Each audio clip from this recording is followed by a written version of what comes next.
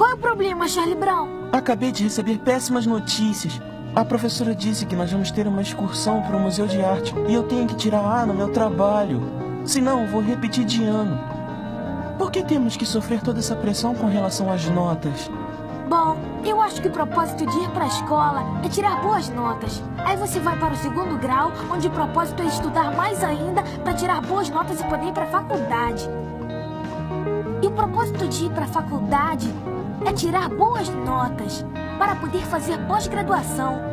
E o propósito disso é você estudar mais e tirar boas notas para ter um emprego e ser bem-sucedido, para casar e ter filhos para poder mandá-los para a escola, para tirarem boas notas, para poderem ir para o segundo grau e tirarem boas notas, para irem para a faculdade e darem Puxa vida e vamos resolver mais um exercício enviado lá pelo Forms. O argumento do número complexo Z é π sobre 6 e o módulo é 2, então a forma algébrica de Z é. Trata-se de um exercício que, apesar de bem simples, revisa os conceitos básicos de números complexos. Então eu desenhei aqui o plano de Argangaus e a representação do complexo Z em função dos parâmetros A, B, o módulo Rho e o ângulo θ. Então você poderia dizer que complexo Z é A mais BI, só que pela trigonometria básica você consegue observar observar o triângulo retângulo e consegue relacionar o A e o B em função de θ e ρ. O A ele é o cateto adjacente a θ, então ele vai ser ρ cosseno de θ, e o B ele é o cateto oposto ao θ, então ele vai ser ρ seno de θ,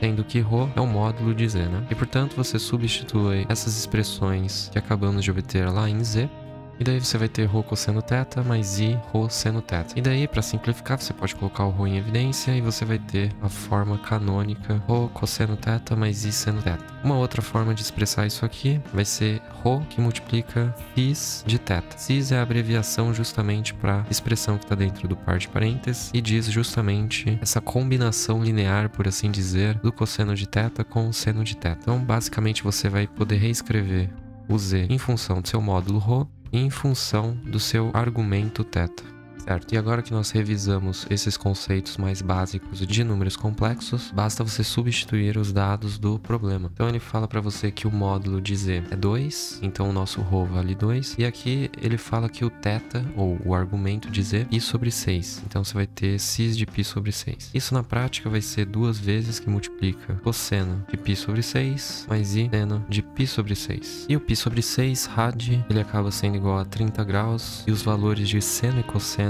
desse ângulo são bem notáveis. Então você teria duas vezes. O seno de π sobre 6 vai ser raiz de 3 sobre 2, e o seno de π sobre 6 acaba sendo meio. E fazendo a distributiva, você vai poder justamente cancelar o 2 do numerador com o 2 do denominador, e você teria raiz de 3 mais i. E daí, para finalizar, você poderia concluir então que z vai ter que ser raiz de 3 mais i, e portanto a resposta correta reside na alternativa E, raiz de 3 mais i.